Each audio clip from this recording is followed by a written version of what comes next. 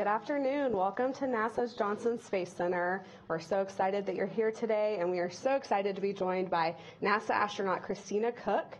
Christina just returned from a 328 day mission aboard the International Space Station, the longest mission ever by a woman for a single space flight. And she just got back to Earth last Thursday. She's here with us today to answer your questions. First off, Christina, is there anything you'd like to share? Well, first off, thanks to everyone who is here. Thank you for your interest in telling the story. It's been my honor to be a part of it, and I can tell you that after 328 days in space, the first six days back on Earth were full of just as much wonder and excitement. So we all live on a great planet, and it's great to be back. Nice to be with you today. Thank you. I know you have a lot of questions for Christina, so we'll get right to it. We'll take questions here in the room, on the phone, and then um, on social media. So if you're on the phone and you have a question, please press star one to ask your question and star two to withdraw your question if it's already been answered. On social media, you can ask questions using hashtag AskNASA. All right, we'll start here in the room. Please raise your hand if you have a question. And um, when I call on you, state your name and affiliate and wait for the mic to get to you. All right, we have one right here.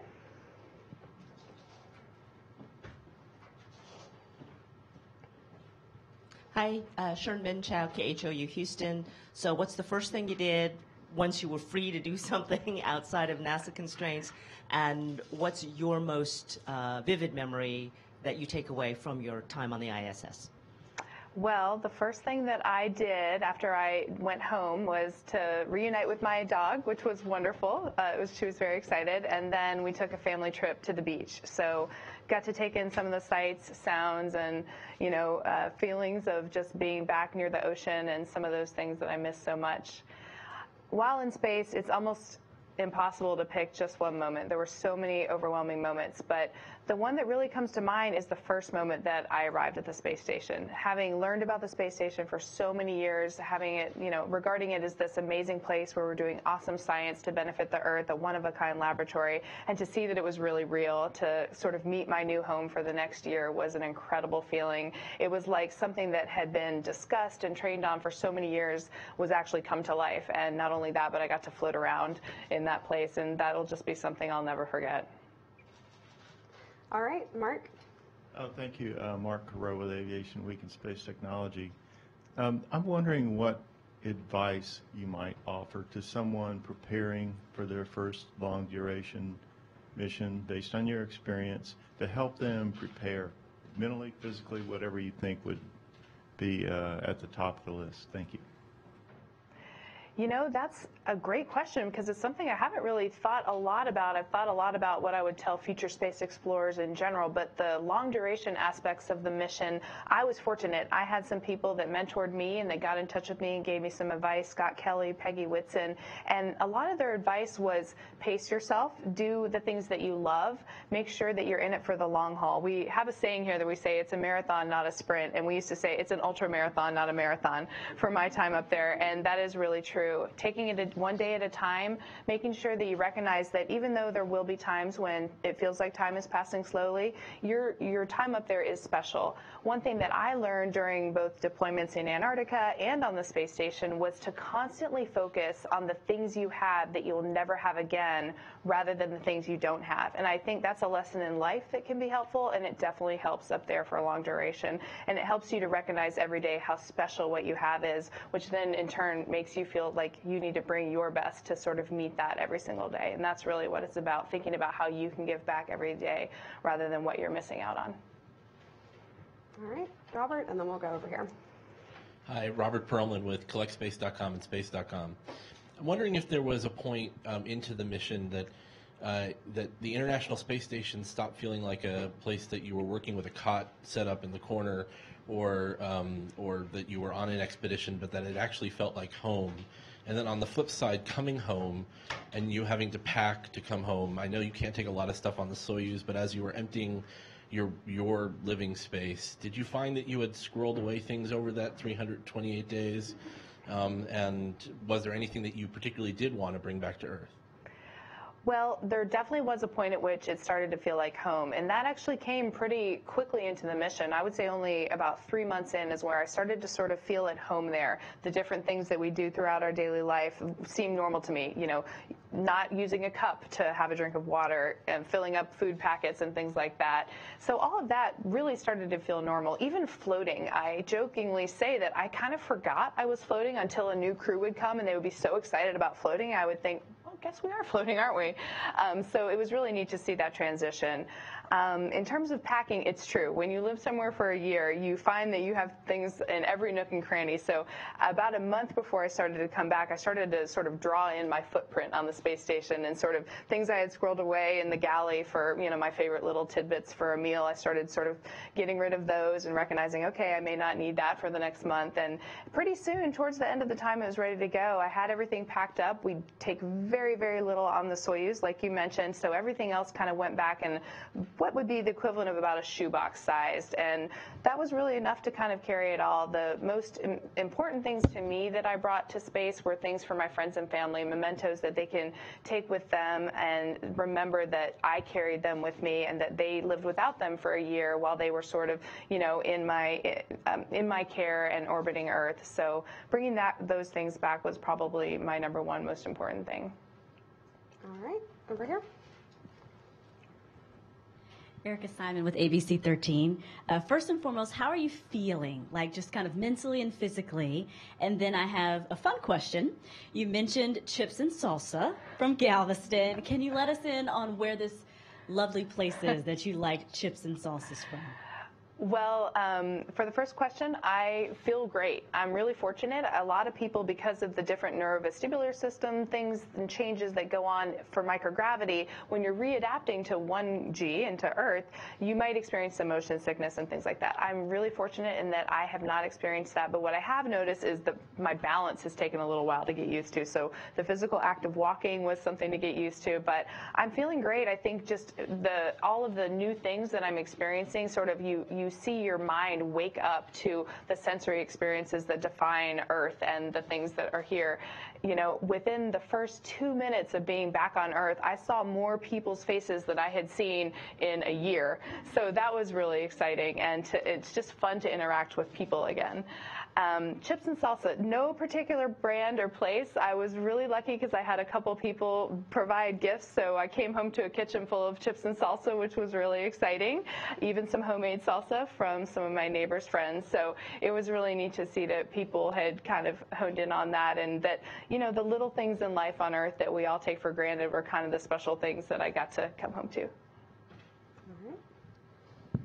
Andy Sirota with KPRC. This is a significant moment in, in history, in all seriousness, and there are going to be a lot of young ladies out there who are going to look up to you from this point forward and say, you know what, I want to be you someday. I want to go further someday. What do you say to this next generation of female space explorers? Well, it is a great honor to know that that may be the case. And I've always said about any record that you set that my biggest hope is that it's exceeded as soon as possible. That means we're pushing the boundaries. More people are living to, up to their dreams and their potential. So my main message to anyone who has a dream is to follow your passions, be true to yourself, do what you love, and live the life that you've imagined for yourself. And then a couple things I like to throw in on that is do what scares you. Do the things that might feel like they're just out of your reach. They're intriguing you, they're drawing you in, but you don't know for sure if you can do it. Go after that thing. Not only will you maximally impact the world, but you'll get the most personal fulfillment out of it and use that as a springboard to just keep doing the same thing. And then I also say support the people around you. When we all care about everyone's well being, that everyone is pursuing the dreams that are important to them, we rise to whatever occasion is before us and we do so as a group. And again, it's the way we can give back maximal to the world world and to you know relive our own potential to the max. So that's my message to everyone. And then you know I just feel like I also owe so much that so much to the people that inspired me back in the day to to get to where I am. So if any if there's any way I can feed that forward to the next generation, it's really an honor to do that. Great question. Okay, we'll take a few on the phone. Tim Peeler.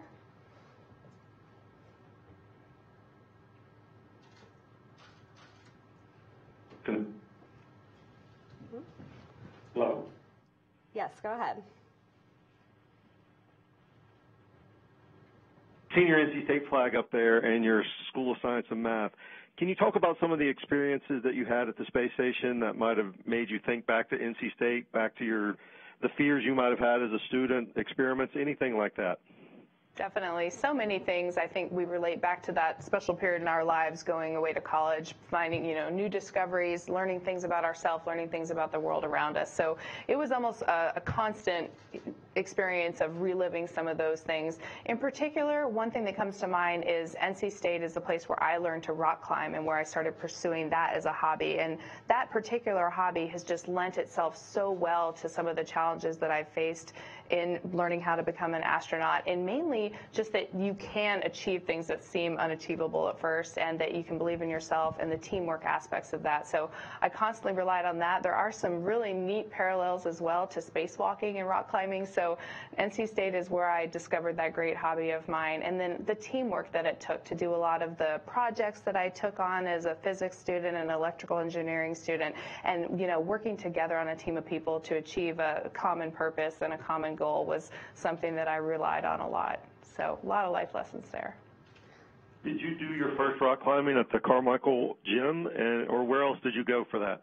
Of course I did, and then you know we had our field trip out at Stone Mountain, so lots of North Carolina references there. Mm-hmm. All right, Sarah Grimmer. Yes, Sarah Grimmer from Grand Rapids in West Michigan.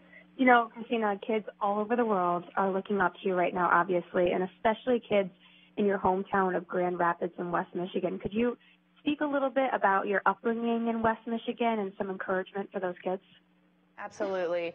I found that the spirit of hard work and taking care of each other and caring about each other that was, you know, given to me from the time I was very young from the people of West Michigan and my family there that are farmers was completely instrumental in me getting to where I am today. I worked in the fields with my grandparents and my uncles and, you know, some of the life lessons they taught me, the grit that I learned from how hard that they worked and the idea of just constantly giving and, you know, looking at each day as an opportunity to do as much as you can for the people around you and for the community around you. I think some of those kind of moral, um, you know, lighthouses that I learned from the time I was young in Grand Rapids and in, you know, north of Grand Rapids and some of the farming areas there will just stay with me forever, and I constantly rely on them.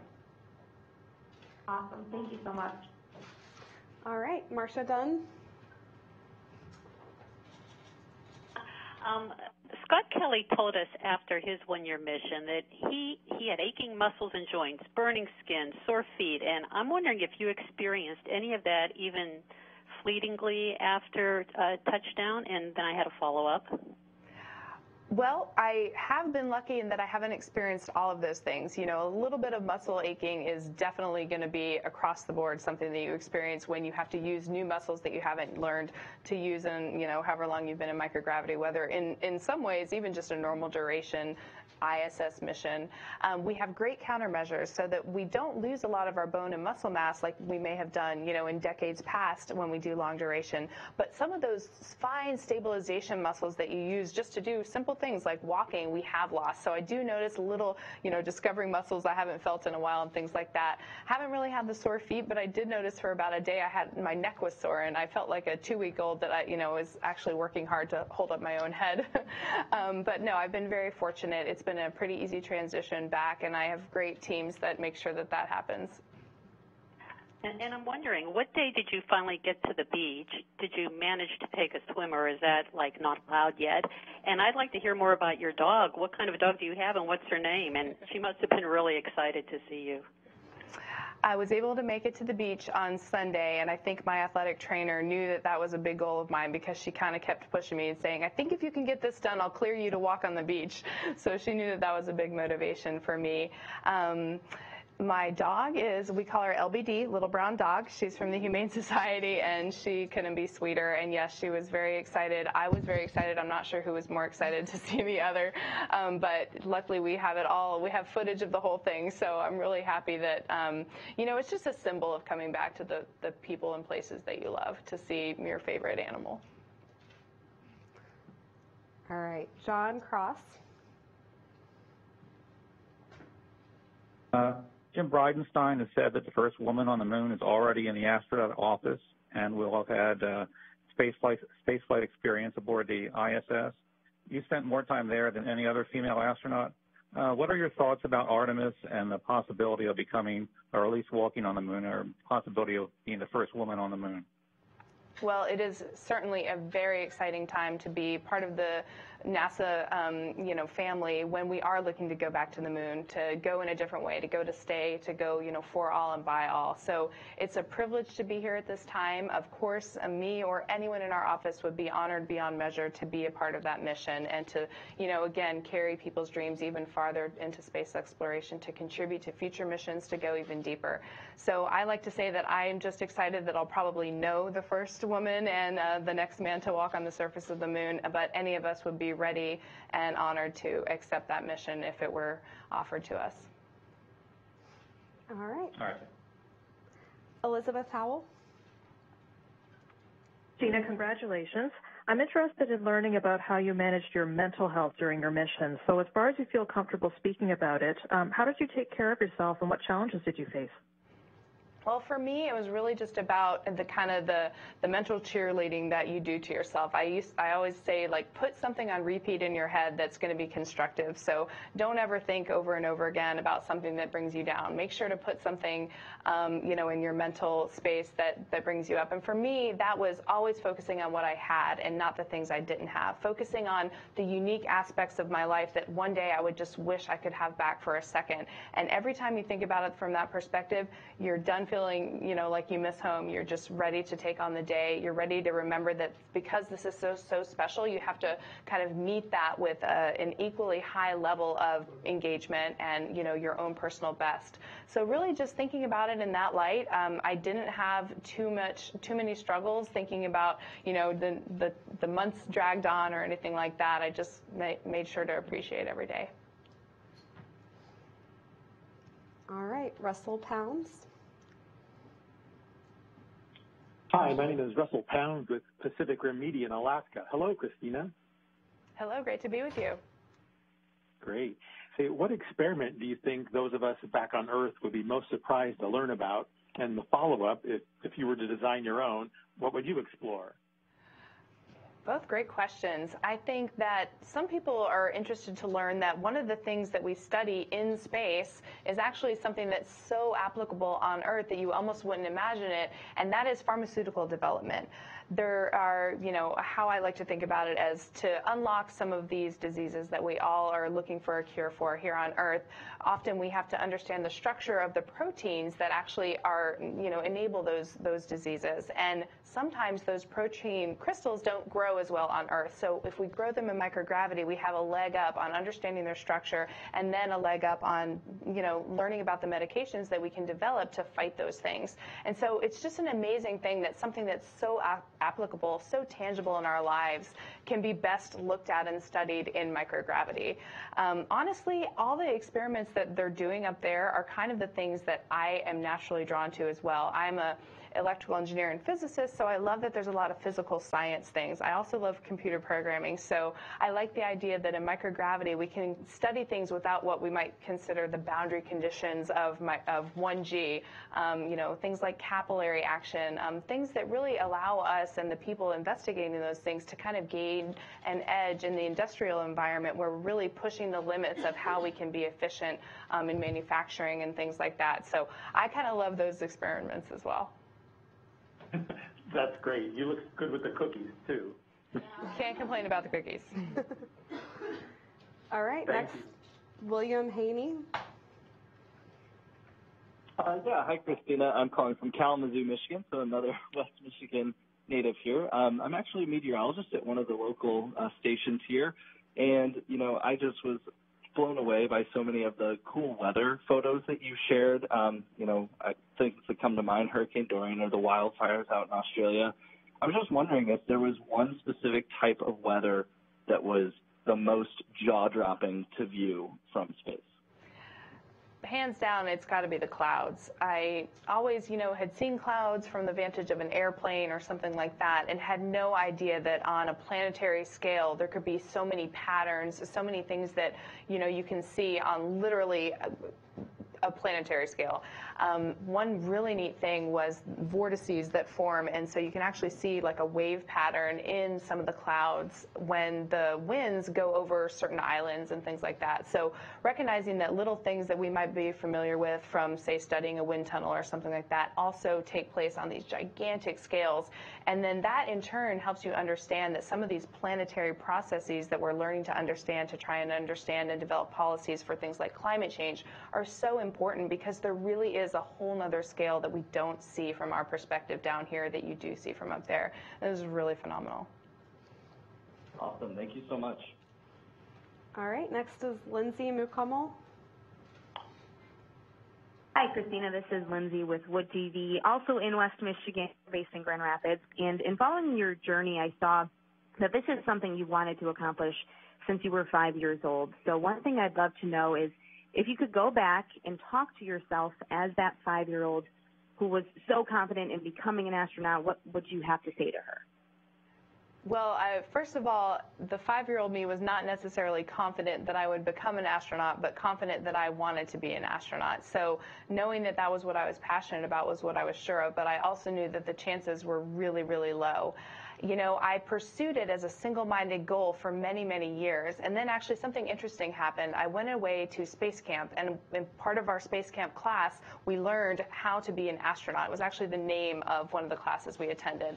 And the instructor actually wrote a list up on the board of the things that you should do and you know everyone was flying writing notes and, and i thought in that moment that i wasn't going to live my life according to a checklist. I was going to live according to my own passions. And if later in life i look back and i reflected upon the fact that the experiences i had gained the skills i had gained would allow me to contribute in a, in a great way to the space program that i held in such a high regard only then would i ever apply to be an astronaut and so I might tell myself a little earlier to sort of look at it that way because I think that breaking away from the single mindedness of only astronaut really allowed me to excel and to find the things that I love. And interestingly, those things were the things that we talked about the most in my astronaut interviews things like rock climbing, things like, you know, going to Antarctica. And I like to tell the story that I actually quit a perfectly good engineering job at NASA to pursue uh, work in the Antarctic. And that turned out to be one of the greatest experiences that I had going into it that I continue to draw from.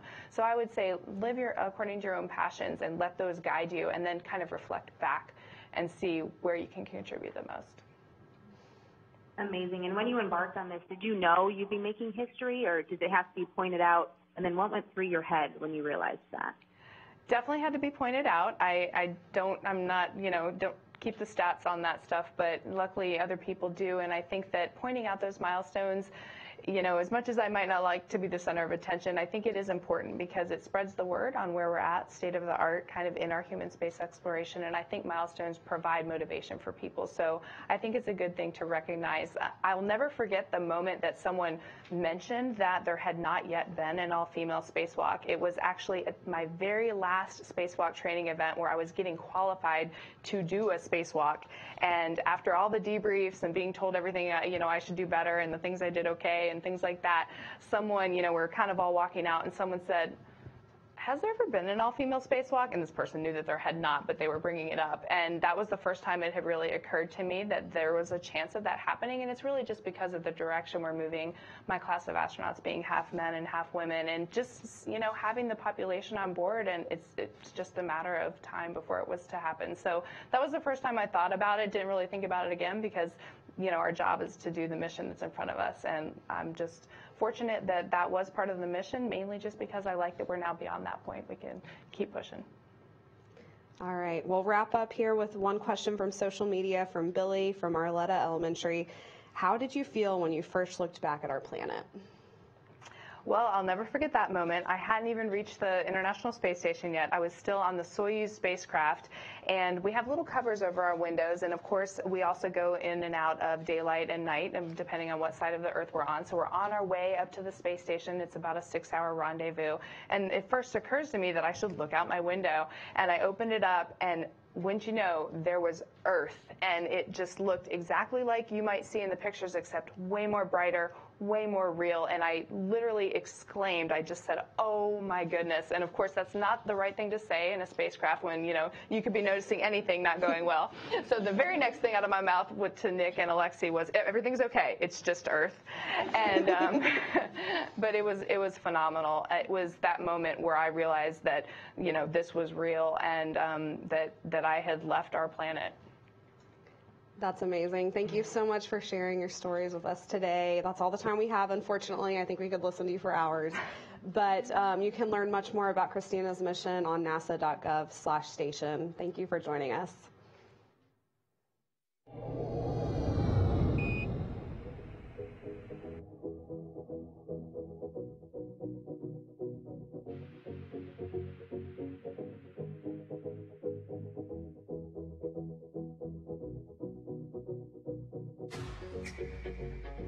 どうしてもありがとうございまし